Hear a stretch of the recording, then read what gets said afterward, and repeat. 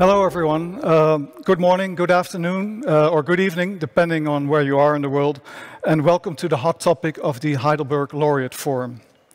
My name is Martin Enserink. I'm a science journalist. Uh, I'm the international news editor at Science Magazine, a global research journal, and uh, I specialize in infectious diseases and global health. And I'm based in Amsterdam, which is about a five-hour train ride from Heidelberg. Um, the topic of today's session really is hot because we're going to talk about uh, epidemic modeling. And uh, I think uh, it's fair to say that there's never been a time when modeling has been uh, so much uh, in the media and, and in discussion. Um, and models are hugely important during the COVID pandemic. Entire societies have been shut down uh, because of the forecasts from modelers models predicted surging cases, overburdened hospitals, and governments had to act on those. Uh, but models can be hard to understand for, for, for the public. And often uh, the, the, the, the, results from the models, the outcomes, the predictions have, been, have differed, and sometimes they've been spectacularly wrong. It's sometimes a bit of a black box if you're not, not a mathematician, how these models work. Um, and when I wrote a story about uh, COVID-19 last year for Science and about modeling, I came across what is apparently an old saying, all models are wrong, but some models are useful. So why are they, why are they sometimes wrong? And um, how can they be, be improved? And how do modelers talk to the public and to the decision makers about the uncertainty in their models? And what do the people who use the models, um, what do they think? Are, are models useful? How can they be improved? So those are the issues we're going to discuss today. And we have four uh, great speakers lined up for you, uh, two of whom are here, in Heidelberg. The other two will be joined, um, will, will join online. And I'll introduce them one by one. Um, they will each speak for about 10 to 12 minutes. I've asked them to keep it short so that we have time for a discussion at the end. So please uh, send us your questions through the conference system, and I hope you enjoy their, their presentations. Our first speaker is uh, joining us from London, and his name is Sebastian Funk. Uh, he is a professor of infectious disease dynamics at the London School of Hygiene and Tropical Medicine. Uh, he's also a Wellcome Trust Senior Research Fellow. And uh, Sebastian is one of those people who builds models. He has uh, worked with many organizations, including the World Health Organization, the European Centre for Disease Prevention and Control, Public Health England, and he also leads the EPI Forecast Group. Uh, and that's a group of scientists that produce real-time modeling of diseases uh, in collaboration with public health decision makers. Um, Sebastian, uh, the floor is yours. Thank you very much, Martin. And thank you for having me. Um, so, uh, can you see my slides? Do I need to do anything to get these slides?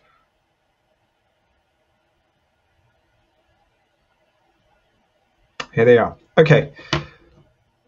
What I will try to give you in the next 10 minutes is a um, subjective overview of what, to me, modeling is what it's useful for and what its limitations are. And I will argue that it's largely a tool for structured thinking through knowns, unknowns, and the consequences of assumptions that one makes.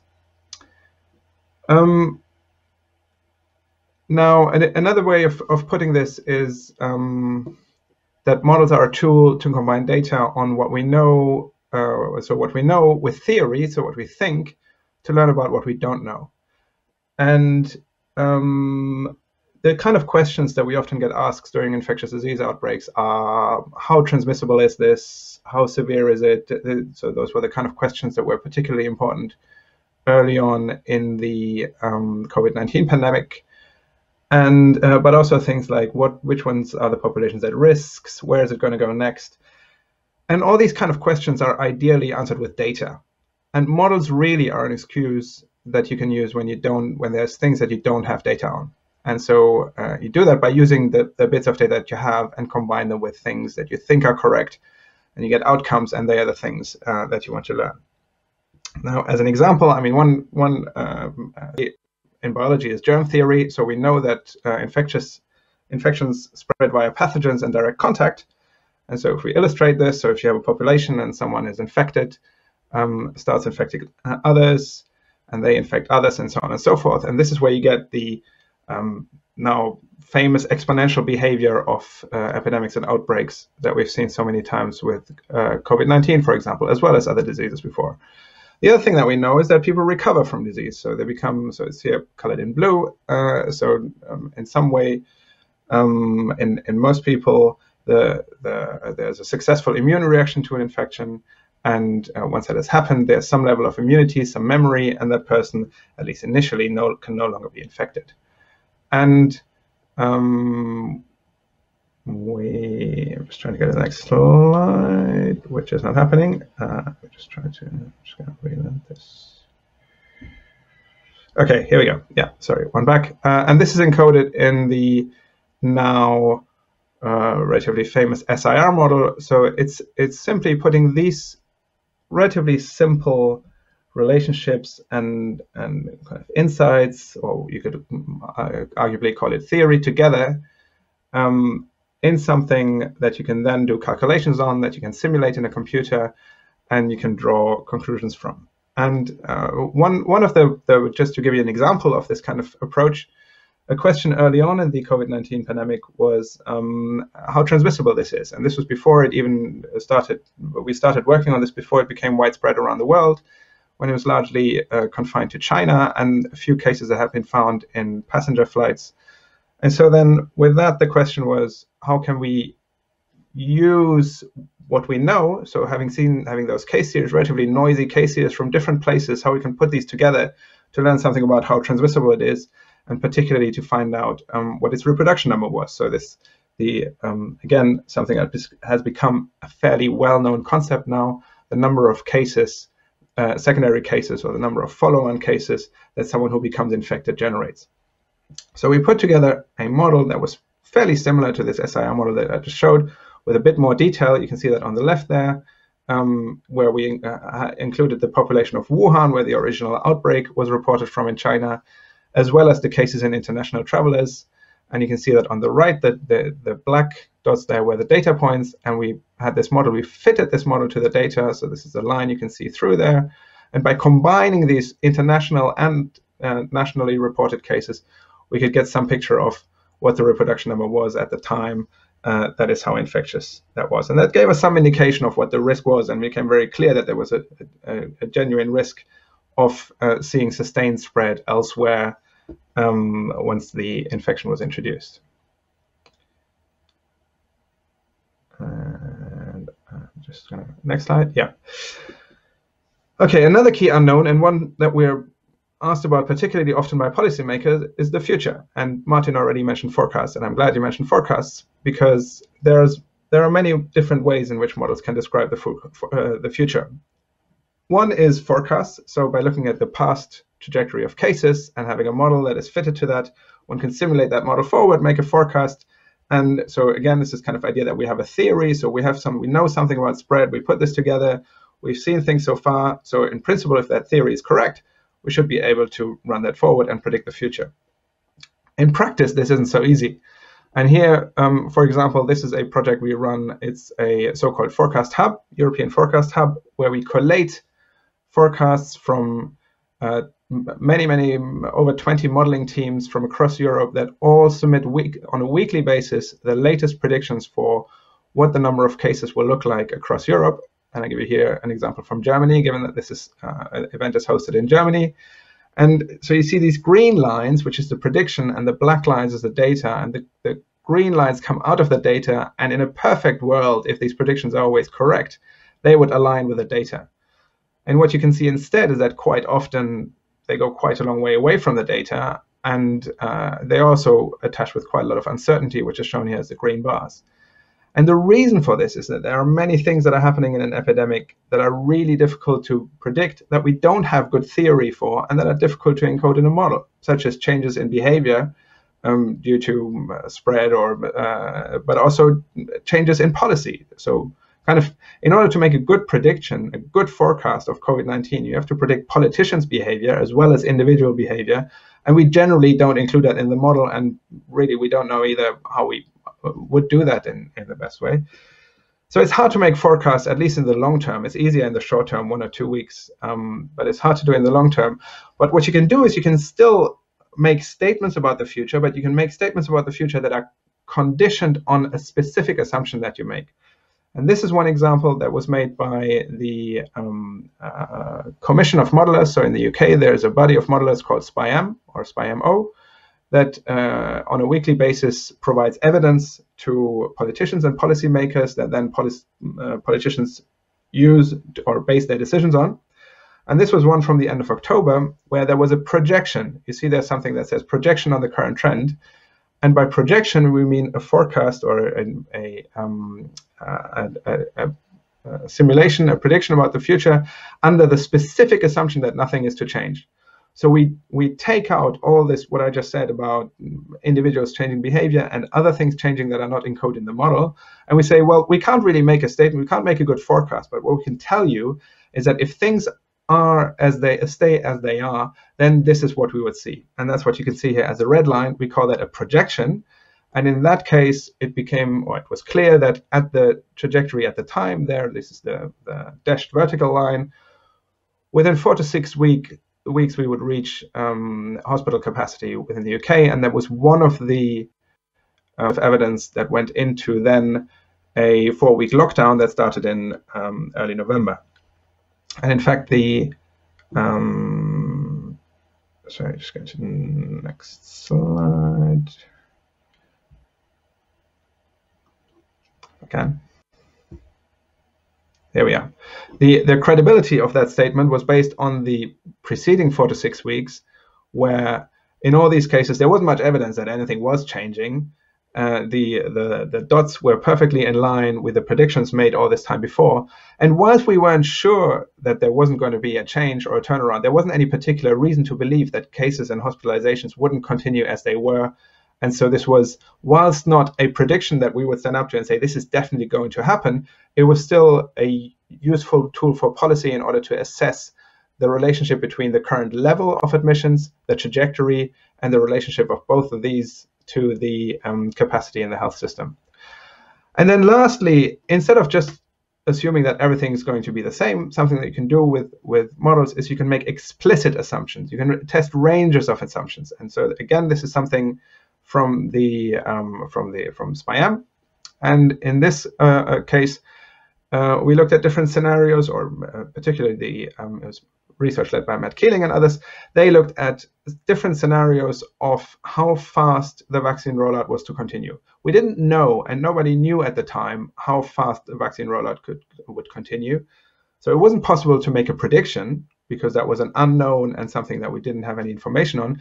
But we could test, or modelers could test different assumptions, and so lay out a range of scenarios neither of which was probably going to become reality because these weren't forecasts. These, were, these weren't created with the idea that one of these would happen. Um, but at least they could lay out kind of a range of possibilities that, again, policymakers could use to base um, decisions on.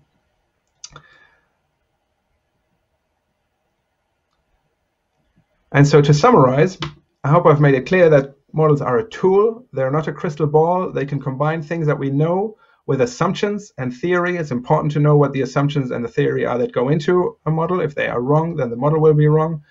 But they allow us, they're, they're an excuse for data and they can replace data where we don't have data.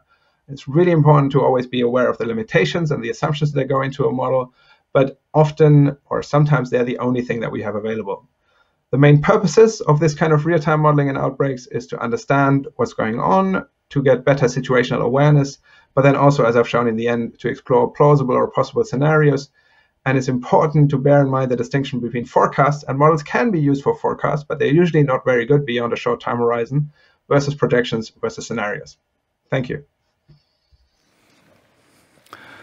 Thank you very much for that nice talk, uh, Sebastian. I, I, I, remember that paper well that you mentioned at the beginning about in the Lancet Infectious Disease. That uh, I remember being struck how you could use you know, some data from China and also from all these other cities where people with COVID had landed, and then to use that um, as a way to gauge uh, the reproductive number. I think uh, that's something that many people don't realize that, that you can do that with modeling as well. It's not just about forecasts and projections. So I thought it was interesting. Um, we're going to our next speaker, uh, who's standing right next to me. It's uh, Sheetal Silal. Um, she is the director of the Modeling and Simulation Hub Africa, also called MASHA. She's also an associate professor in the Department of Statistical Sciences at the University of Cape Town. Um, models have helped governments in, in many lower and middle income countries make important decisions on, on diseases such as malaria, syphilis, and pertussis. Um, she's also part of a modeling consortium that um, uh, advises the uh, South African government on COVID. And I'm, I'm, very grateful that she's come all the way um, from Cape Town to Heidelberg for this uh, session. And uh, she and I had a beer last night on one of uh, the lovely squares here in town. And um, she tells, told me that, that outbreak modelers need, uh, need empathy. And I thought that's interesting because empathy is not usually the first thing you think about when, um, um, when you're talking about uh, mathematics. So uh, perhaps she will explain to you uh, what she means by that. Thank you. Thank you very much. And today, following my colleague's presentation on what the purpose of modeling is, I'd like to focus on the importance of taking into account context, diversity, and culture in our modeling. So when we are developing a disease transmission model, what are the primary steps? And we've listened to a little bit of this already, but to go through it briefly, we first need to review the existing knowledge base. We need to read up on global policy, understand the biology of the disease, the various treatment uh, options that are available. We then collect whatever data is available to us, and we then use this data to develop and build our mathematical models, choosing a methodology that is commensurate with the amount of data available to train our models. We then need to test our models to assess that they are in fact robust and doing what we believe they should be doing and sensible. And so we conduct sensitivity analyses, not just on the parameters, but also on the model structure itself. And we test out the assumptions that we're including in our models. And then we're in the position to run model scenarios, such as demonstrated by the previous speaker, these stochastic scenarios that allow us to, um, to come up with model findings with uncertainty ranges and confidence bands. And the last step is to communicate our model results and model findings to those who, have, who are requiring them. So taking into account the strengths, the limitations, the uncertainties, all the good, all the bad, and all the uglies to communicate in, a, in an honest manner. But when you take into account, or when you wish to take into account context, culture, and diversity, it requires you to do quite a bit more than your standard disease modeling that perhaps one learns in a degree or in a textbook. So what you have to do is to look at the population of interest. Perhaps you're focusing on a country. You need to read the local country policy documents. You need to read the monitoring and evaluation reports that tell you not just the policies that countries decided to implement or chose to implement, but also how well they implemented them into the past. You've got to take into account local epidemiology and particularly the health system characteristics, understanding how the population access the health system, and very importantly, understanding how data are collected and how representative the data are of the true underlying situation. So I'll give you a few examples from malaria. Um, in the many malaria models that I've built in LMIC, there have been a few characteristics that have always stood out for me in terms of being important to take local context, culture, and diversity into account. One is access to treatment. We start asking questions who accesses treatment? How do they access treatment? Do the sick access treatment through the public health sector, through private care, through traditional medicine, or perhaps self-treatment, often by accessing drugs available on the counterfeit markets if you're not able to get them uh, yourselves through legitimate means? What about the um, questions around when people access care? Do you access care as soon as you fall sick? Or do you access care or present late to treatment? In particular, we focus on the barriers to access to treatment. So, are there groups in the population who simply do not have access to the care that is perhaps even freely available to them? In malaria, one such group are our high risk groups of migrant and mobile populations. It is often the case that migrant and mobile populations are afraid to access the healthcare system, often because they are in the country through illegitimate means or because they feel the, the, the, service that is provided is not acceptable. So in some cases it is through xenophobia or through extra judgment that people do not feel comfortable accessing the healthcare system. Now we need to know all of this. You ask yourself, disease modeling is about maths. Why does this matter? It matters because it helps us understand better how effective these policies are, how effective those drugs are if they're able to actually get to the populations who need them. And we, it's able to help us understand who's missed. Likewise, in malaria, we have what we call uh, insecticide treated nets. These nets help um, you sleep under them and they prevent mosquito bites. So they help to prevent transmission in that way. And it is not enough that countries distribute millions of nets. It matters if they are used. In some communities, nets may be used um, as a, a, source for, for fishing, as a fishing net, because it helps to bring money into the household. But in many, many high prevalence settings, these nets are simply not suitable to, to many of the population, or there's no appetite to really use them. So brand new nets are kept in the cupboard or given away or discarded. And so these nets are not achieving the maximum impact that they need. And there are many examples like this social behavior, environmental considerations, and I could go on forever talking about each of them. But let's move on to a next topic. What do we do when there's no data available? Now, if we consider the health surveillance systems in many LMIC, in many countries around the world, they are often weak. And this can be for historical reasons or even in more recent times due to limited budgets. You'd rather be spending the limited pot of money you have for health on buying drugs, on um, taking care of hospitals, or, uh, or, or um, making sure there's enough staff, rather than getting a much better or establishing a much better data collection system. In other cases, surveillance systems or data simply doesn't exist. Using COVID-19 as an example, at the very start of the epidemic early last year, we had to make not just the short-term forecast that we could perhaps do comfortably using existing data, but we had to make long-term projections, six-month worth of projections at the very beginning when no data was available. So what did we do? We established expert panel groups. The one thing I hope that becomes across quite clearly during this presentation is that mathematical modeling is not the domain of just mathematics or just computer science. It is multidisciplinary by definition. So when we establish these expert panel groups, they comprise of doctors, of epidemiologists, biologists, virologists, those working in the public health system, economists, those in government, all coming together to bring to take international data and bring some context to the situation in which you are modeling. And that is where this question of empathy uh, comes in, because you need to be able to empathize with the population who is being served ultimately by these models. We may develop models for government, but government is using these models to develop policy to help people on the ground. And they are the ultimate end user, and that is exactly where empathy is uh, required. So these expert panels, what they do is they help to contextualize information. One quick example that I could cite is when it came to critical care and understanding in my country, South Africa, the likelihood of people accessing critical care and how long they might spend in a critical care bed.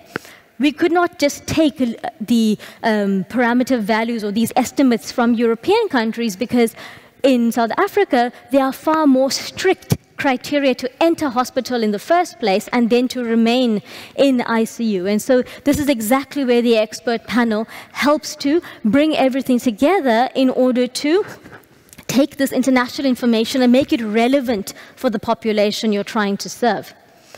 And lastly, all of this, at the end of the day, only really matters if we can communicate our model findings in a clear way. So what we have found is that if we, as scientists, convey our model findings objectively and honestly and with humility, and therefore citing it, what the models can do, their strengths, citing the limitations, as well as all the very vast uncertainty in developing these models, then we are able to establish a good relationship with the stakeholders who are in charge of making decisions. And we've also found that using appropriate tools help to bring these lots of equations and numbers in a meaningful way to, to, to, for the stakeholders to understand. So for example, using interactive dashboards, maps, clear plots, um, talking with non-technical phrases, as well as developing focused output to each stakeholder group that you are serving, we have found these all to be useful measures in better communicating our model findings. And so, in conclusion, what I'd like to leave you with is that I have found in my experience that among all the models that I've developed across a variety of diseases and for many countries around the world, the models that have been the most useful are those that have paid the due respect and attention to the local context of the population in which they serve. Thank you. Thank you, Sheetal. That was really interesting. I, I guess you really made clear why you need empathy and also why modeling is not something that you do just behind your desk. You really need uh, a lot of information on the ground, which in many countries is very hard to get by, right? So, so you also need really good relationships with the people that can provide you those Absolutely. data. Right, yeah. Okay, thank you. Um, we go to our third speaker, um, Julia Fitzner. Uh, you've now heard from two modelers. Uh, we're now going to the other side, if you will, to people who, uh, who use models, uh, uh, the client, as, um, as Sheetal called them, or maybe the, the, the, the, consumer, however you want to call it. Julia is not a modeler, uh, but um, she works at the World Health Organization headquarters in Geneva, Switzerland, where she's the team lead for data and analysis in the Global Influenza Program. Welcome, Julia. Julia has been involved in the response to many outbreaks and epidemics around the world uh, at WHO, including yellow fever, SARS, uh, the influenza pandemic of 2009, and currently, of course, uh, the coronavirus pandemic. Welcome, Julia, again, and um, the floor is yours. Well, thanks a lot for this nice introduction and welcome. And, and I'm very happy that I am actually talking right after Sheetal, who is bringing a lot of this kind of contextual thing to it. I will focus a little bit more on actually the data that is used then for the uh, with the models and then how we actually use them and, and what we need to do and maybe also on where we go sort of with the next steps on, on what we need to understand and on, on going further with all these kind of data and models that are already um, uh, available around the world. So just um, and this is a little bit going back to the basics again as well. Um, what are we asking at the beginning and and and during any pandemic? And it's really sort of do we know how transmissible the disease is or stays? I mean, now with the new variants coming up, we are still asking also how do they, those kind of transmissible how does the transmissibility of the disease change? How severe is the disease or the part of the disease and who's most affected. So who is the ones that we need to care most about and protect, but also what is the impact on our health system um, and on society. And finally, and this is sort of also these kind of scenario modelings, what, how do the interventions that we plan or have at hand change this natural progression of the disease. Let me see if this works. Next slide, please. It doesn't. So going back now to what we have sort of currently at the global level, we have a lot of data and we are collecting a lot of data. So we have the data of the current COVID pandemic at the global level. We know we have reported of now nearly 230 million cases and nearly 5 million deaths. And, and we have them sort of by the region, by the country. We also sort of have the cases and the deaths by age group. So we can see trajectories. And these data are important then to sort of make other, uh, to make models and, and see further projections. We also have, next slide, please, like the vaccine coverage. So we do know where people have been vaccinated. We see here the big uh, hole in the African continent of, of being vaccinated in compared to other countries. Next slide, please.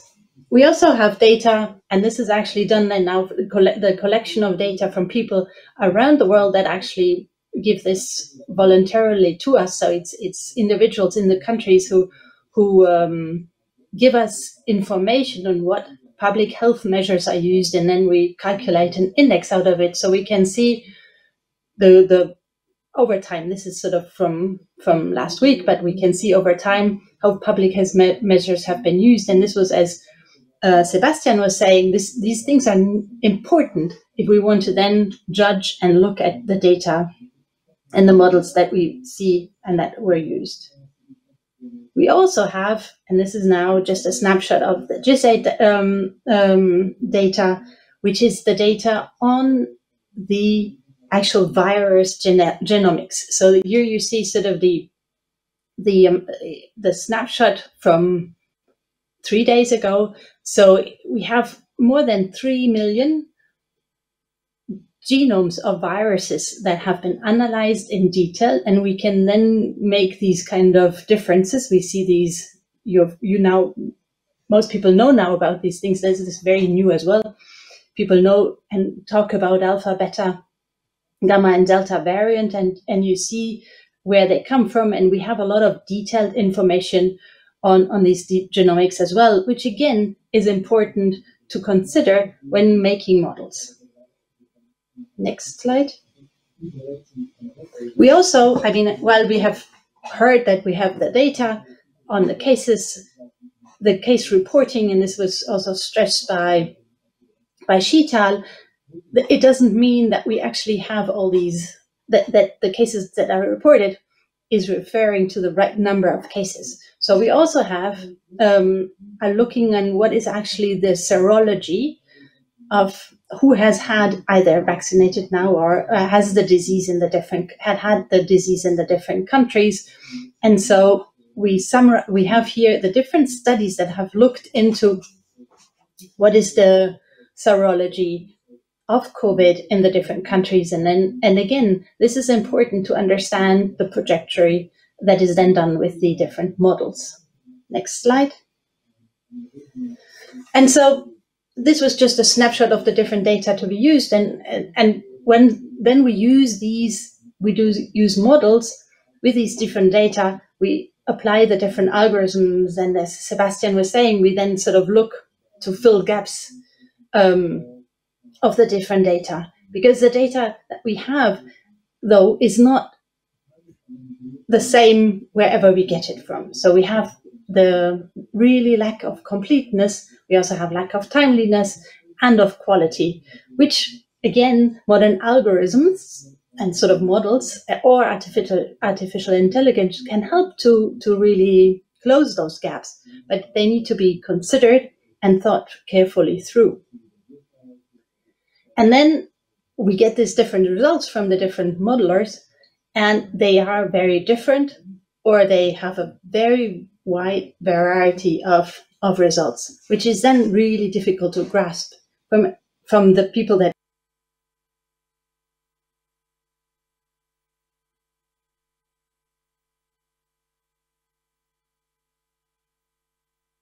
Technical problem?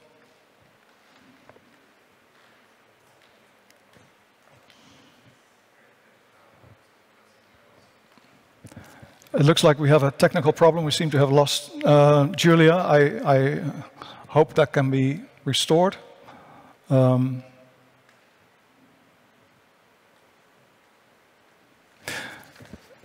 Right. Um, she was in the middle of an interesting talk, but we've lost her. Uh, I, am looking at the pe technical people. I hope we can get her back. Um, or should we move on to the next talk for now?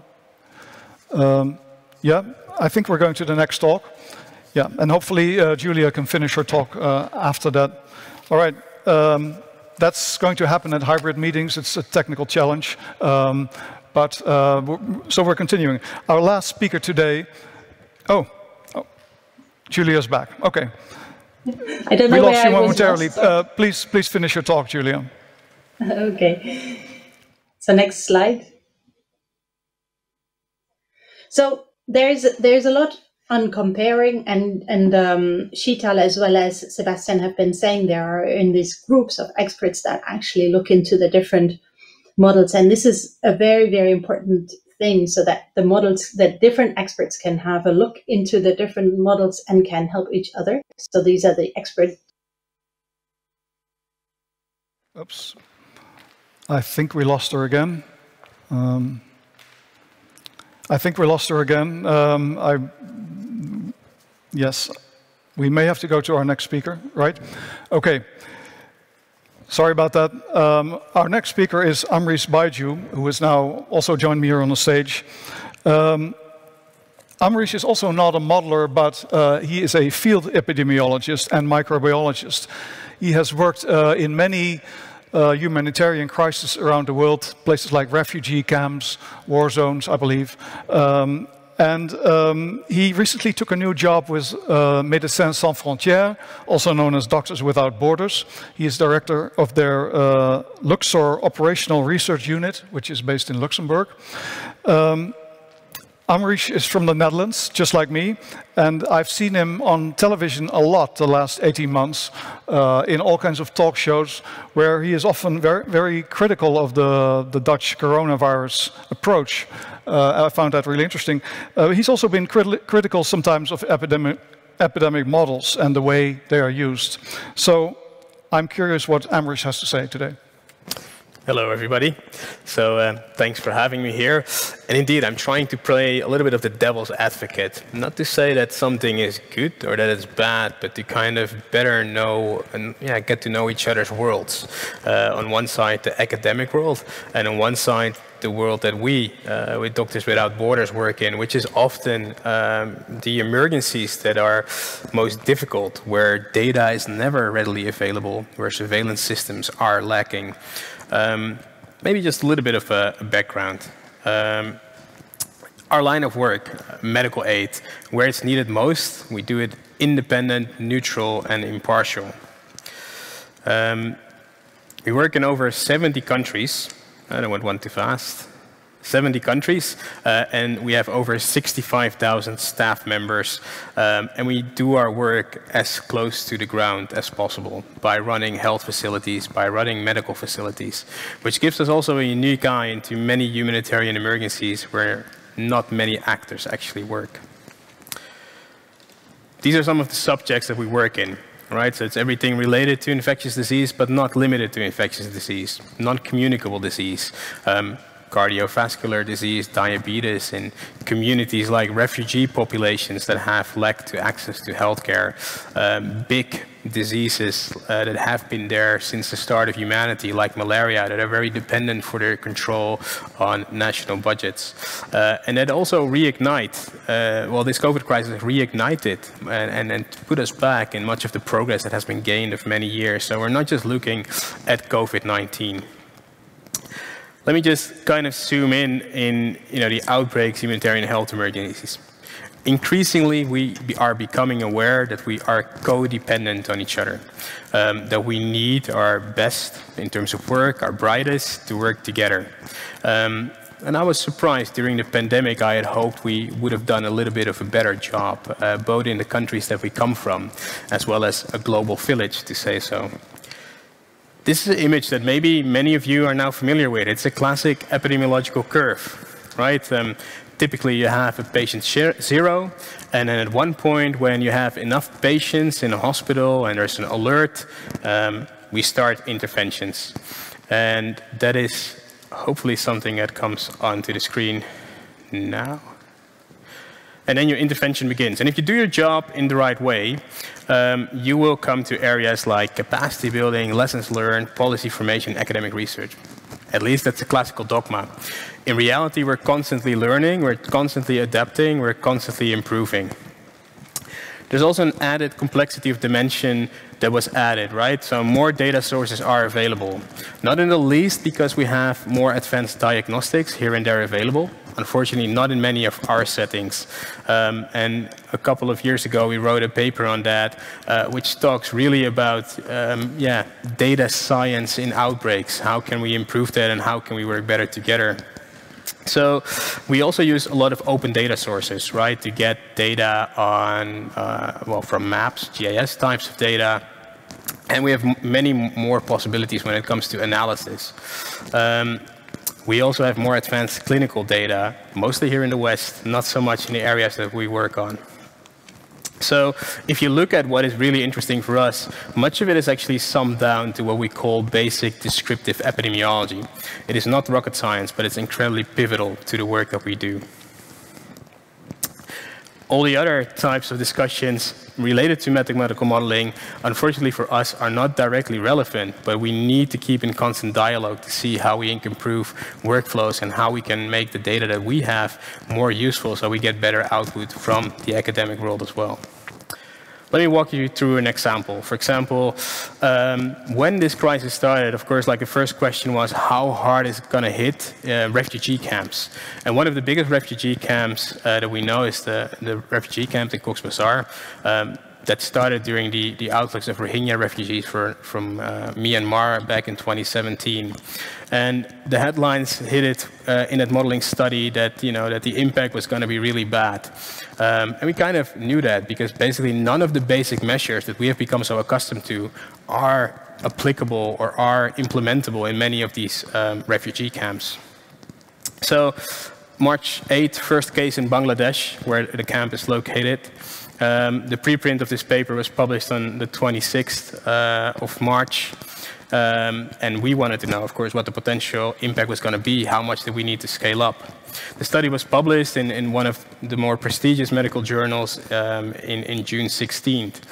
But there were two kind of highlights that I want to highlight here. One is that if you look at the main findings, uh, one of the main findings was that, yeah, it might have been bad and the refugee camps didn't have structures to support um, if things would go wrong.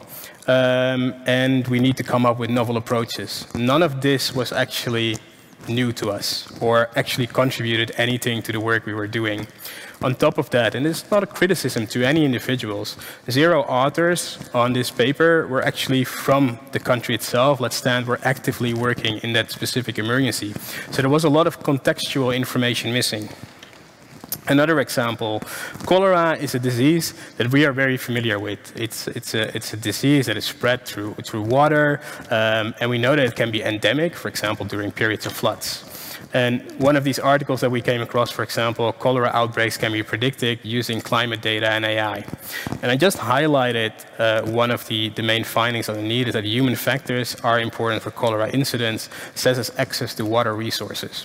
Again, nothing new to us, doesn't really help us in operational work. Why? We will never be able to pinpoint when exactly a cholera outbreak is going to happen because we never have that type of surveillance capacity. And even with novel tools, if we could pinpoint it, we often can't reach those areas or don't have the means to kind of work in these type of areas. So I guess the key question is, what does it add and how does it help us? So we deliver data, right, in, in a theoretical exercise. And for us, magic happens when we give it to mathematical modelers and people that are way smarter than we are. And then ideally, what we hope is to get out this eureka solution and then if you look at reality, um, the data we deliver, not high quality. And what you get out, yeah, unfortunately, also not high quality. And I specifically use these two emoticons that everybody knows nowadays because it's, it's a famous saying in applied epidemiology, uh, shit in, shit out. Too often, I feel that the link with public health professionals that are working on the ground is lacking. And you know that makes it mathematical modeling sometimes a little bit of a classic academic-driven study or a limited study of which operational utility remains to be questioned for us working in difficult contexts. There's limited awareness of the operational context, and on our side there is limited awareness of the academic support mechanisms, which are often so complex and fast-moving that we don't even see what the proper picture is. And an Ebola funeral, um, for example, where infection prevention measures are not properly used can completely change the course of an Ebola outbreak. Um, often we're not consulted on parameter estimations, and the parameters are kind of like the, the known unknowns that you want to feed into your model. Um, but also we deal with different incentive models. My work is to deliver the best medical care possible to populations in need. And yes, that sometimes does conflict with the academic model of publishing. But it's important. The global trends in humanitarian response look grim. Uh, we see more fragile contexts, more people being displaced by conflicts, uh, not in the least to amplify it all due to the COVID-19 crisis and climate change. The duration of our responses is on average longer and much more complex, as we've all experienced during this pandemic, and financial support is not growing accordingly. So our capacity to respond to emergencies is drastically and radically tested. And then there's a few elements on the complexity of the data that we deliver. Much of the data we still collect is by necessity sometimes collected on paper. Um, so 90% of our time in the field settings, we're busy with merging different types of data sets, getting data from an, a very badly maintained Excel file and, and merge it all together, data cleaning, recleaning, problem solving, you know, getting clearance to actually share data, which is a really important subject. Uh, and we have narrow timeframes for analysis, right? Because the time pressure is immense during these health emergencies. So the question is, how much time do we actually have for actual work? And that fueled the, you know, the, the, the kind of need for us to focus on the development of tools. And if you look at the cycle from data to action, um, for us there's a few elements that are very important. Data cleaning, having graphics and data visualizations that are insightful, good descriptive tool, and consistent reporting because we need to report on a daily basis and we want to do it consistent so that decision makers can take the best informed decisions possible. What do we need for that? Well, a lot of our work lies in good descriptive epidemiology. A lot is inherent in the ways that we collect data, um, and it, you know, surveillance capacity is always a limited aspect in our working area. Um, having good tools that help us, as I said, with you know the things like around data cleaning, visualization, parameter estimations, predictions, but especially consistent reporting. So, the, but actually, the role of advanced analytics in the humanitarian sphere of field epidemiology has been limited so far. So why is it relevant? I'm just going to speed to this slide. It will generate more time to actually work on our real job, which is actually solving an emergency. It helps us identifying the right bottlenecks, treating patients better, will make data more comparable around time and across different places. And that by itself, of course, fortifies the way we can actually do science and improve practices but it also helps us communicating with stakeholders, um, increase awareness of what actually is happening, interact with affected communities, and a very important point, and advocate based on solid evidence. There's two examples of you know, the improvement of tools that I kind of want to highlight to you and that you can go and have a look at. The R for EPIs project, which was a collaboration between um, many, uh, let's say, more theoretical epidemiologists, people that have a lot of experience with R, uh, and many of the field epidemiologists that do the day-to-day -day work, um, and that these are specific areas where we need help, for example, to make these so-called situational reports, uh, where we have ready-made R scripts. You just put your data in, it's automatically cleaned, inconsistencies are removed, and you get a nice Word document with tables that you can edit, uh, basically visualizations that you can partially edit or export in Excel depending on whatever you're using. And yes, Excel is still the most used tool. Keep that in mind. Another resource developed by good friends of mine was the Epidemiologist R Handbook, because what we need is materials to train, materials to build capacity. And that's often neglected, right? And, and for me, this has always been a really important subject, because this is for me pivotal, building capacity in countries, building capacity on site, and actually making countries less dependent on the need from academic institutes in our parts of the world. And as you can see, this was a project that was actually instigated and supported by, and I say that explicitly because you see the organizations here, but these were actually individuals within the organizations that shared a mindset and actually wanted to do this in their free time. Yes, in their free time. And they, used they made this huge resource. Why? Because not many people are interested in funding these types of really important pieces of work.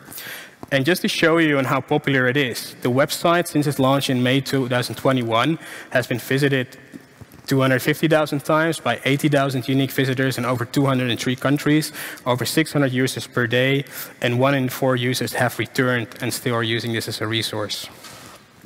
Okay, just to conclude, um, for a new generation of scientists as well, I, I wanted to kind of discuss one thing. Um, it always starts with a useful question. Are you fishing in a data set, or do you have really questions that you want to answer? Do you know where your data is coming from? Simple things like time, place, person, key epidemiological questions are really important to us.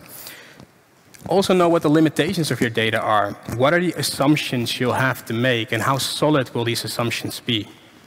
Um, know your audience um, and know how they read figures. You know, what is their understanding of statistics? How often we had to explain things like exponential growth during these crises to even fellow scientists or medical professionals, for examples. Put your limitations always on top of your document. Um, is your output actionable? This requires from start to finish interactions with public health professionals. Talk with each other.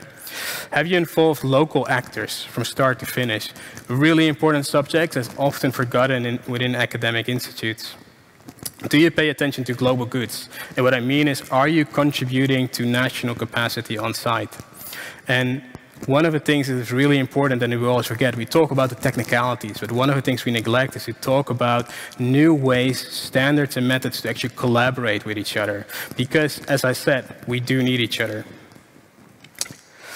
So just to kind of end on a quote from Carl Sagan, and, and, it comes from the pale blue dot, and if you haven't seen it, do look at it. In our obscurity and all this fastness, there's no hint that help will come from elsewhere to save us from ourselves. I think it by itself underlines the necessity for better interdisciplinary collaboration, but also honest collaborations. Thank you. Thank you, Amrish, for that uh, very helpful perspective from the humanitarian world. Um, I, I, guess you made the point that sometimes modeling really is a distraction. Although I, I assume for modelers it must be odd to see their uh, their work represented by the poop emoji in your uh, in, in, in your presentation. Um, I want to ask them uh, in the discussion uh, after this uh, how they feel about that. Um, but first. Um, uh, Julia is back, and um, I'd, I'd, like to invite her to finish her talk before we move on to the discussion. Julia? Yeah, thanks a lot. So actually, I, I think uh, Amrish was saying quite a lot of the things that I was going to uh, put forward as well. So I mean, there is a lot of there is actually a lot of data, but um, and and there is a lot of different models, uh, and but we often have not the local knowledge, uh, or it's not taken into account, and the context of the data is not used. The data is collected and and good analysis is done, but that analysis is actually not shared because, especially in, in low, low and middle income countries, because it, they just don't have the time to also publish it and, and share it. Other aspects that might influence the dynamic, dynamic of the progression is, is not taken into account, and the result of models are sometimes contradicting and not so transparent. Um, and um, as the others, I think it's really the, the, the open discussion among the different experts and especially multidisciplinary experts is really really needed. Um, so that um, and it is not currently happening enough.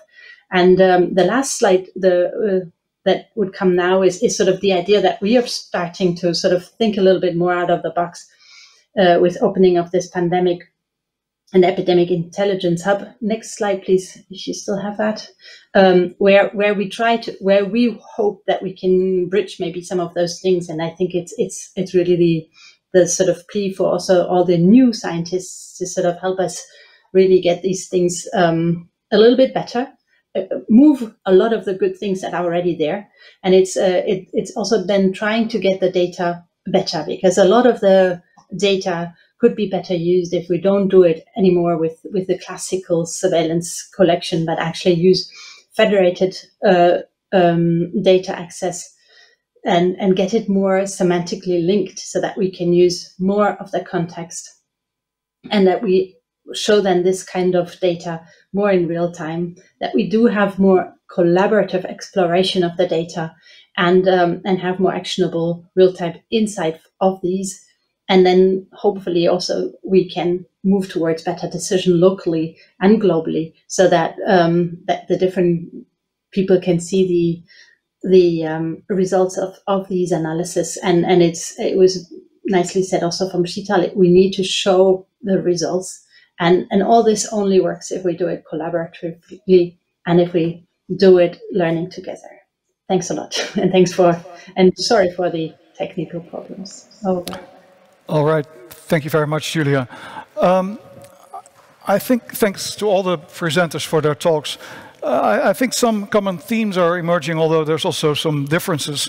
Um, but, but clearly, uh, you all think that um, the models very much depend on the context. You need to have good local information. You have to need you need good data to come in for good models to come out. Um, there needs to be more, uh, more collaboration, uh, I think. Uh, that's a common theme um, in, in gathering the data and building the models. And the communication is very important. How do you share the outcomes of the models with the people, that the clients that need them, and, uh, and with the public? Um, and one thing I heard is the models need to be more useful sometimes. Um, but kind of want to start with the, uh, the, the, the, the, poop emoji that uh, Amrish uh, shared, because I think uh, we all have seen in the past uh, year and a half that sometimes, sometimes the models are wrong, even when the even in countries that do have good data. I mean, um, Sebastian, maybe I can start with you. Um, in, in, the United Kingdom, for instance, some models predicted uh, um, that numbers would go up, case numbers would go up uh, rapidly after the reopening in July, and, and some people were very alarmist about that, uh, and that doesn't seem to have happened. Um, uh, but there have been many other instances, I think, where the models were, were actually uh, off. Um, that, that clearly influences people's trust in the models, right? How do you deal with that huge uncertainty and the fact that you're sometimes going to be wrong? Yeah, I think it, it ultimately comes down to communication. And I think the way in the UK um, these kind of model scenarios have been used, used were really as a policy tool, not, not as a prediction. I think it's the, the there's a very clear communication channel between the modelers and politicians in the UK, and there's a lot of translation work and interpretation work that goes on there in order to make sure that really the, both relevant questions are being answered by the modelers, but then also the answers are kind of interpreted correctly. Interpretation, to me, I, I don't think anybody of the modelers or any model would have been able in, in July to predict what's going on. And often, in fact, the scenarios are set by politicians. It's so it might be a scenario where, for example, um, an expectation there's a further opening as was going on in July. If we assume that people have twice as many contacts as they had before, what would happen? And then you, you get the output from the models. But no model in the world is able to make a reliable prediction for something like a COVID-19 epidemic for more than a few weeks ahead. So if you want to really firm, reliable predictions, then um, well, there's nothing you can do. A model can't answer you that, you know. And and in fact, it's often um, there's a kind of plausibility check you often need to do with models. Models, and and and I like the um, kind of how Amrish said, you, you kind of you, you provide the information and then some magic happens and then you get the output. And I think often it it it really the insights from models are often they're not often particularly controversial or uh, kind of um, once you look at the assumptions that go into the models, they often seem obvious. It's just that they, they provide a certain clarity in putting these assumptions together and then getting an outcome. But um, in terms of what's going to happen in the next X months or so with COVID, then there's just such huge uncertainty in the assumptions and whether the assumptions are going to be correct that no model in the world, whatever it does, will be able to to answer that correctly. So I think it, it but to answer your question, I think it ultimately comes down to communication and to to ensuring that there's no expectation that these models that are scenarios with a very clear set of assumptions where every modeler knows that none of the assumptions will exactly come to pass and there are planning tools um, if if that is clearly communicated uh, that and and that expectation is avoided that it's a genuine prediction um, that I think that is how we avoid this kind of critique that might then be levied at the modelers as, as, as that that predictions were wrong if they weren't genuine predictions. Right. Sheetal, do you, you want to weigh in on that? Completely agree with what um, Sebastian has said. Um, it's, it, so I think what we've learned in this pandemic is that as much as you may have had a group of modelers doing modeling, you almost, the modelers themselves almost needed a communications team behind them to be able to, to do this kind of explanation to the public. Um, and I think that really would have helped our cause if we were able to have more resources to dedicate towards um, almost teaching the public the basics behind disease modeling. And as Sebastian so eloquently put, what the differences are between predictions and projections and scenarios. Mm -hmm. But we were operating in an emergency setting, and perhaps you know, other than um, writing a couple of articles in the media and maybe having a Twitter account, it was very hard to establish a, a public uh, or a, a communication platform for your clients or your stakeholders as well as the public. Right. Yeah. Uh, but do you understand that the, that this undermines the public's confidence in the models? That at some point they're like, I don't know all these models, mm. I don't know what to believe anymore. Certainly, I think it has. Uh, that has been a that has been an issue and one that we hope to, I, I would believe, rectify okay. as we model into the future. Okay, and, and do modelers get uh, training for that for communication? I mean, uh, or is that something you learn on the job? Um, I think for most people, you learn it on the job, and particularly as we're saying, emergency settings now. But I, I, we have, at least in some of the networks in which I uh, work, we do try offer media training for, for up and coming modelers. To, so how do, how do you conduct yourself in the media? What are ways in which to communicate? But that costs money, and money isn't always available for communications when you're trying to make salaries as a, as a modeler. Right. Okay. Uh, Sebastian, how have you learned to communicate the outcomes of your models and the, and the uncertainty that comes with them? The hard way, by being often or, being being misunderstood often enough that um, eventually, you know, you kind of learn to to attach enough notes of caution to to results that you present and enough uncertainty. And it, and it, it, it doesn't have to be um, you know it's not purely and I don't want it to come across as purely being misunderstanding from the from the recipients of the model. It's also um, obviously it's on us to to learn to become better in, in communicating and to uh, not communicating modeling results without also communicating the limitations and the assumptions that go into them. The other issue is that in the UK, for example, and, and this is quite often the case when we work with policymakers. The, the models really are a tool, and and there's a you know they, they they arise from a specific conversation with policymakers, with decision makers, or with um, politicians, often via intermediaries or via um, kind of health departments or ministries of health or or um, charitable organizations like MSF. And there's right. specific questions, and then you know we as modelers try to find specific answers. And then this, this, it's good that this is done in public, and I think it's important that the public is aware of what informs policy. But then that communication that led to generating these results is often get, often gets lost in when when results just get presented. So all you see, all the general public then ends up seeing is a plot of future cases that maybe looks like a prediction, but never was designed to be one. And right. so I think it's it's clear communication that's required at all levels of, of interaction there. Right. Julie, do you want to weigh in on that question about communication of the uncertainty in models? Well, no, I, I mean, I, I said it um, in, in my presentation as well. I think this, and, and as the other speakers have said, the, the uncertainty is, is an important thing. And, and I mean, risk communication is a, is an, an area and uh, of on its own, which uh, we, we've started engaging more with, and I think it's it's another thing that we need to even uh, take forward more and translating technical results in more usable language that everybody can understand. I think is is has shown now in the um, pandemic that it is very very important, and people have. There's lots of good, good examples on how that can be done, and I think we need to do that more, even more. And the uncertainty is it's not only starting from the model. That's the, that's what I try to bring across as well, and I think that others have been saying as well. It starts with the data. We we um, we and, and we probably need to get better to not just always just put the data as a as a linear, but, but use more more semantics with the data. Right. Okay. We're getting some questions from the audience, and uh, I would encourage you to send in more if you have them um, for our speakers.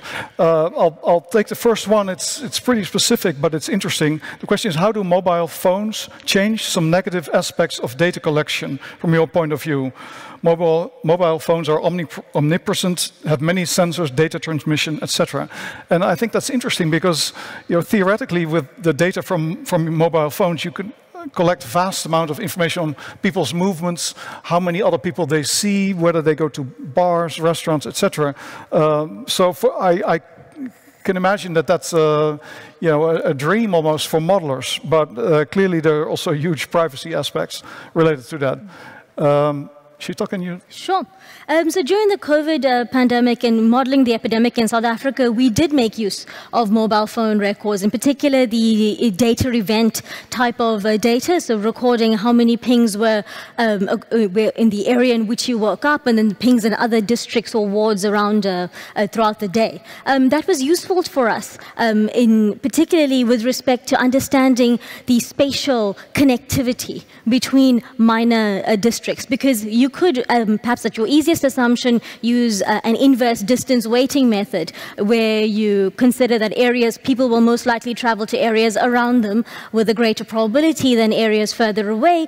But especially when we bring economic travel into account and you take um, restrictions um, on certain kinds of travel these inverse distance weighting models don't really work. So the mobility data from mobile phone records helped us get a much better idea between the different restriction levels how movement was actually occurring um, during, the, um, during the pandemic. The difficulty, of course, was the number one, securing the contract to actually get the mobile data. So we only got the data maybe three, four months into the pandemic because these things take time. We also couldn't um, um, are not necessarily able to publish the data because it's not our data to publish. There are severe restrictions um, on that. So I think all, we have to, as much as mobile data is extremely useful in looking at spatial connectivity and spatial movement for individuals, it, we do have to take into account the privacy concerns as well. Yeah. Uh, because Sebastian mentioned uh, that uh, human behavior is, is, one of the most mm. difficult things in the end to model, but uh, this gets you pretty far along with uh, collecting data on human behavior, right, Sebastian? In, in principle, yes. Um, in practice, it's I found, in my experience, it's often more difficult, and I think um, I, I I really like the, the, the examples that Sheetal gave and, and how they've used the data in South Africa, and I think it's it's there's definitely huge potential in there to unlock. But at the same time, it's it's fairly complicated data, and I think it's from my perspective, the real data gaps that we have have had in the pandemic weren't kind of more complex data on people's behavior. It was really the simple stuff. It was like how many, you know, early on in the in the in the pandemic in the UK, and I think the same elsewhere, we were really flying blind because we didn't know how many cases there were um, across the country, and because there wasn't much testing going on, and um, you know, as we had to kind of try to paint a picture from disparate sources of data on hospitalizations and you know there wasn't any testing in the community and we tried to set things up and get things off the ground. And now in the UK, I think it's an exemplary you know, data collection and data provision system with a lot of data being publicly available and a lot of useful analysis being done on that purely on the clinical data. Then there's all the kind of contextual stuff like, okay, how people move about and mobile phones. And, um, you know, it's, it's much more difficult to do something with that on the rapid timescales that you often have to respond in a pandemic. Right. That said, I mean, as Sheetal very nicely laid out, there's huge potential in, in, in using that kind of data, and certainly something that will be play a role in years to come. Right. Okay. I have another question from the public. Uh, several of you stressed that models are policy tools. Could you elaborate? How are they used in practice? So let's let's give another uh, set of concrete examples briefly, please. Maybe I can start with you, Amrish. How can models? How are they policy tools? Let's make this a bit more concrete. Yes, I, I think in, in many ways, um, you know, they, they can inform us better in terms of, you know, what, what different scenarios and how they could play out. And I think that's the most interesting element of, you know, of policymakers as well. And I'm not speaking again about, about the context that we as Doctors uh, Without Borders work in because, yeah, you know, gathering that quality data, we're, we're not there yet. But can you give an example of a disease that you have worked on where the, the, the model was an important policy tool, where it led to a concrete change? Uh? Um, not by itself, at least I, I can come up with examples where we've used that data in that way that it led to concrete changes. Good epidemiological studies, yes. Right. right. descriptive studies, yes. Okay. But modeling, uh, not directly, and that's okay. just maybe because of the limit in, in, of the context that we work in. Right. Sheetal, can you give examples? Um, so I'll give a non-COVID example. Mm-hmm. Um, back in 20, 2017, 2018, we were conducting at the time a malaria elimination investment case in South Africa. So the purpose of this uh, this um, modeling exercise, which was initiated by government for the purpose of policy change, was to develop a model for South Africa, make projections and develop a set of scenarios as to, uh, with the current policies, what, uh, where the country might be in achieving malaria elimination in the next 10 years, and if we made certain changes to our policy, so did a few more interventions of different kinds, where might that, uh, how could we in fact get to elimination? We had to cost it, and then we had to work out the funding gap. So if we were to implement this policy, what would the outstanding funding be? So we did that. Um, we developed a, a, mathematical model of malaria transmission in South Africa, ran a variety of scenarios, some that were in line with current government policies, some completely out of the box. Um, and it turned out that the one scenario, or, the, or the general scenario that led to elimination within the time frame that we were happy with, was one that required investing domestic South African resources, so money from South Africa's taxpayers investing this money into uh, reducing malaria in Mozambique, our neighboring country. And that's quite an out of the box policy in the sense that you're using domestic funding to help a neighboring country reduce their malaria. That came out purely from the model. The model was then used as evidence to seek funding from the national treasury in the country to, to implement um, the costed amount costed by the model and then it was subsequently granted right. and is now underway. Okay, so yeah. it's an example where Direct you really link, yeah.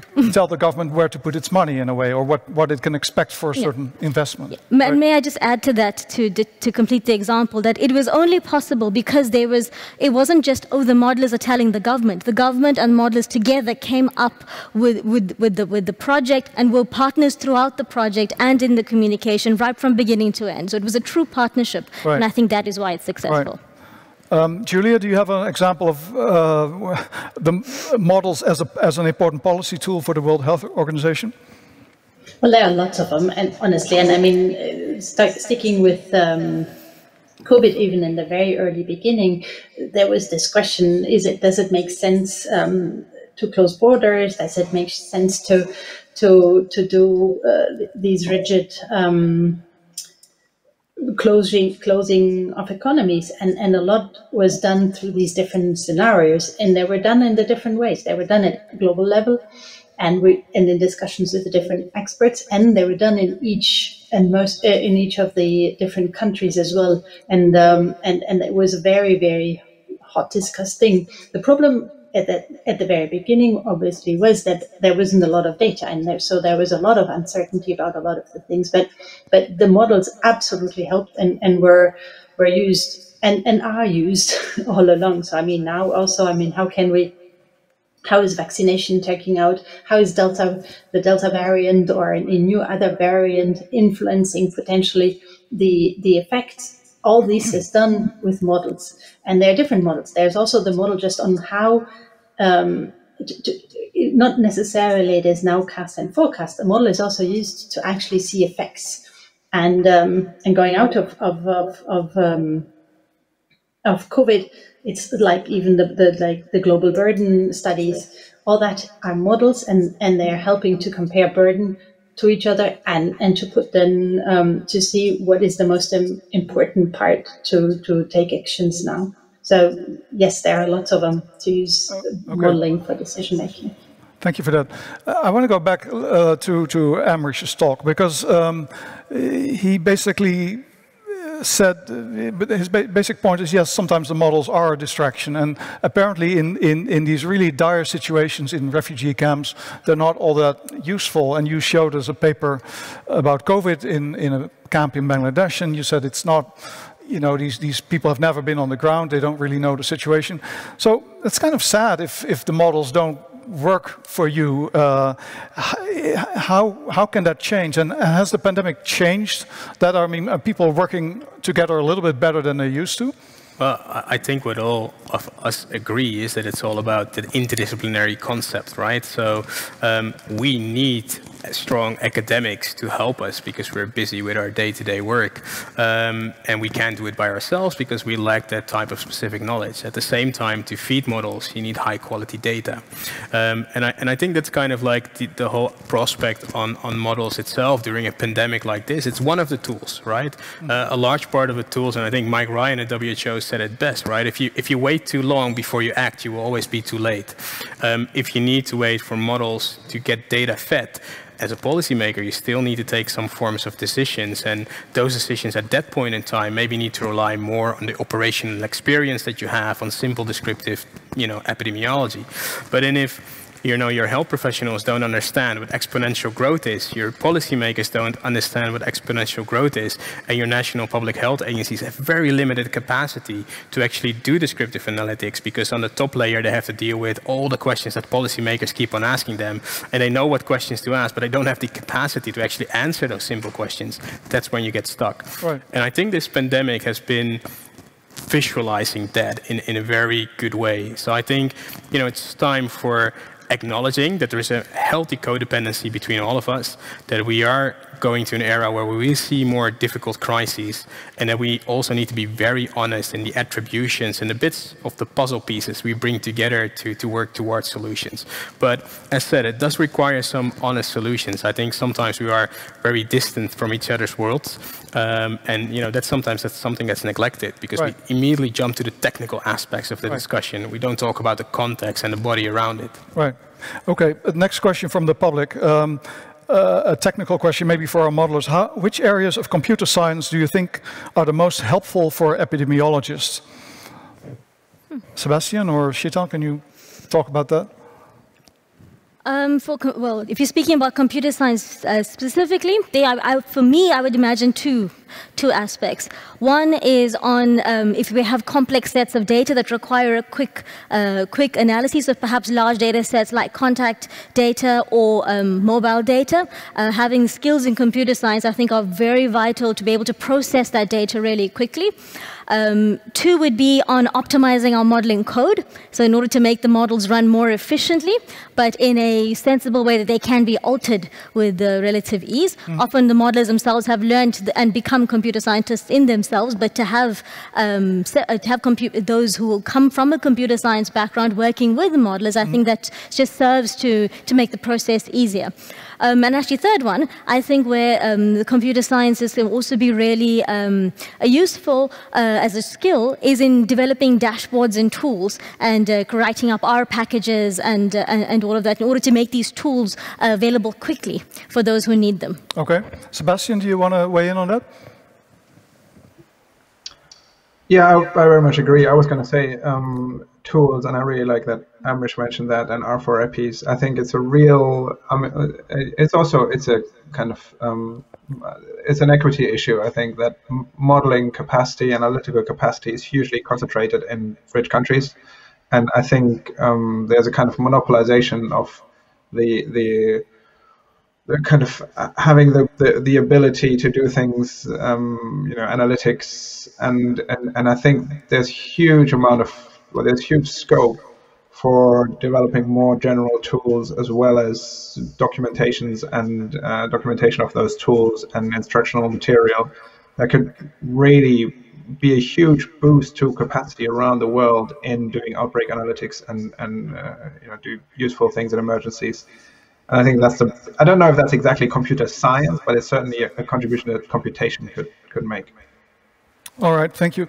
And, and um, you you are modelers, but you're you're scientists, and we all know that uh, in science it's publish or perish. You need to publish papers to advance your career. Um, but at the same time, you, you also spend a lot of time on, on, on making these models, making forecasts for decision makers, you know, public, publishing these, posting these fancy, fancy dashboards where people can, you know, do their own interactive modeling. Um, so, so what, what to you is more important, you know, publishing those papers or doing all of these other things? And do you, can you get credit for all of these other things as a, as a, as an outbreak modeler?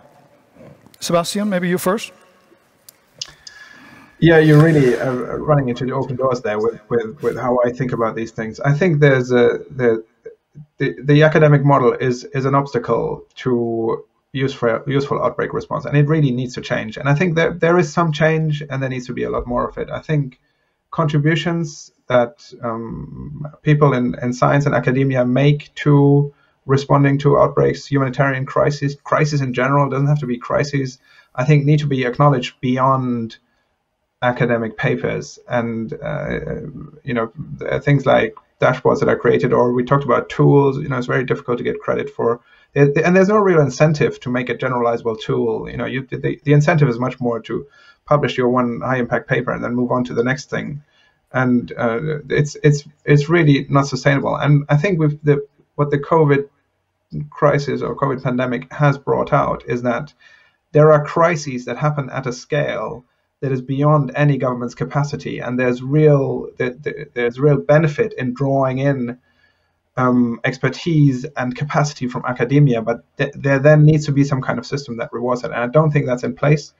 And uh, you know, I think in in my case, um, you know, I've I've had the luxury of a, a fairly long term contract and job, so I could de-incentivize writing papers and focus more on pro- trying to provide useful info to policy. But many don't have that luxury, and it's particularly on the back of early career researchers that are doing a lot of the work that is relevant in in in, in a moment like this. And um, yeah, I think there's some change happen, but happening, but a lot more needs to come. And really, we've done this with the goodwill of of a lot of young researchers. I think who have put their careers back a little bit in order to provide a, a, useful contribution. I'm hoping that that will be recognized going forward in job applications and promotion procedures. Right. Um, but I'd like to see more of it. Okay, so there needs to be a change in the in the reward system. I, I assume you agree, Sheetal. Have you published much in the last couple of years? Uh, no, no, no. I've got many, many papers on the back burner. Right. B because we have an incentive to work, and you, by establishing these relationships with government, in order to keep them, you have to produce, you have to make projections and help to answer policy questions as they as they arise. I'm lucky at my university that these kind of social engagements are, um, uh, or social entrepreneurship, or these kinds of ideas are credited, but that's not the same everywhere. So right. I think there's a real need need for the change in the academic structure of, of credits. Okay. Um, I have another interesting question from the audience. Uh, what lessons, if any, do you think that uh, the climate change modelers can learn from epidemiological modeling? For instance, about dealing with different stakeholders. Um, Julia, can you say something about that? Well, I actually think it, again, the multidisciplinary is, is, an, is key. And I think we need to work together in both ways because climate change is, and, and disease are actually closely linked. And so I, I think we, we, we should not even think in these kind of barriers of, of, of one or the other and, and making it more, um, making results more available and, and being able to communicate the, the, the outcomes is, is an important part for both of them. And, and actually, let me one uh, go back also to the question before. I'm sorry, Martin, but, but I have a strong feeling uh, with this publications as well. I actually even think that, that the publications also harm because we hold back information because it needs to be published and um, and it is difficult to actually read through all the publications because th- there's a long text and we don't actually get to the thing. So I really think that there is time for thinking of, of this rewarding through publications. Okay. Okay. Um, we're, we're, nearing the end, so um, um, I have, I have, one more question, maybe for each of you, quickly, uh, if you can, uh, because some people in the audience might be interested themselves in, in, in modeling and might consider a career. What uh, do you think you need as a, uh, as a mathematician or computer scientist uh, to become a modeler? What does it take beyond empathy, which Sheetal already mentioned? Um, Sebastian, I'm going to start with you. I think really not much more than an open mind, a willingness to listen and to learn and to understand what kind of key um, concepts and issues are in other disciplines. I think, um, you know, in, in, in principle, in terms of technical capacity capability, we have a lot of mathematicians, computer scientists in, in modeling.